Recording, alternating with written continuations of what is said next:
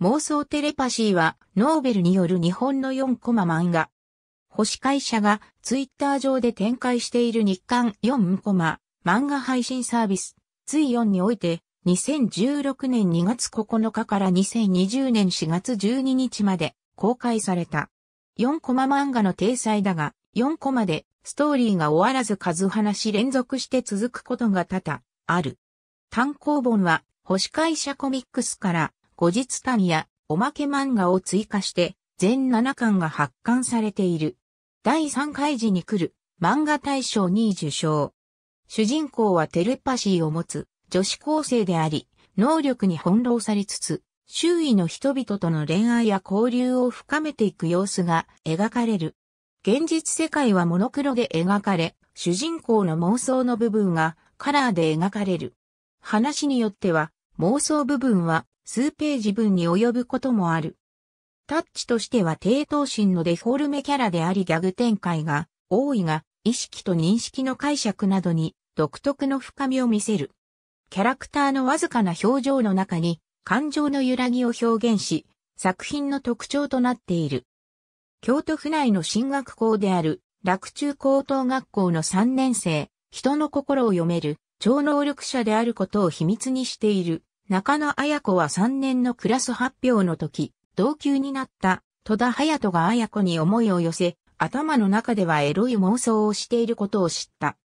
誰もクラス委員をやりたくないし、担任が例年通りなってほしいと思っていることなどを能力で察し、彩子は1年や2年の時と同様に違反して委員になる。隼人は彩子ときっかけを持ちたい一心で委員になる。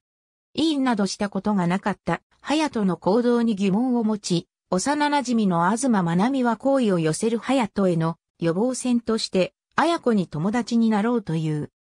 サッカー部の試合、修学旅行、気温祭りや文化祭などのイベントを通じ、隼人の綾子への思いは高まるが、エロい妄想の頻度も高まっていき、それを感じ取ってしまう純朴な綾子の隼人への行為を効果的に阻害する。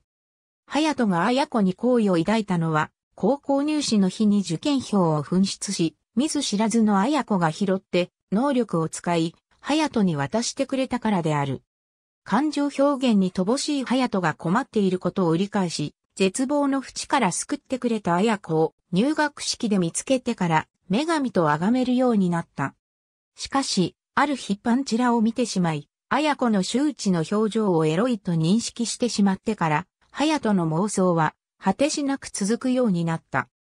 表情に乏しい隼人と唯一それを読み取れる綾子、中堅のように二人を慕う隼人と、正反対に直上傾向なサッカー部の後輩、隼人の幼馴染から恋人になりたい愛美や、彼女によって開かれていく、交友関係など、もやもやした状態で学校生活を過ごすうちに、いつしか、綾子も、隼人への行為を自覚していく。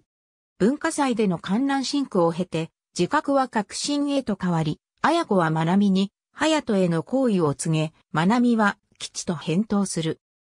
素直に感情を表現できない隼人と、幼少から他人の意識に敏感で、自衛のため内省的になりがちな綾子の、本来なら、両思いで幸福なはずの恋の成否は、イラつく友人たちが見守る中甘酸っぱく揺らぎながら、卒業後の大学進学に向かい、二人だけのハッピーエンドを迎える。大学三年になった彼らだが、未だに綾子のテレパシーは秘密だった。高校仲間四人で集まったある飲み会で、まなみが酔った勢いからか、隼人に綾子の能力を知っている前提で話しかけてしまい、ついに露見する。謝りつつも、そのまままなみは酔いつぶれてしまう。戸惑う二人だったが、すでに妄想における行為を幾度となく実行している彼らなのだ。承知の上で、という隼人の冷静な推察のもと、さらにイチャつく綾子と隼人であった。ありがとうございます。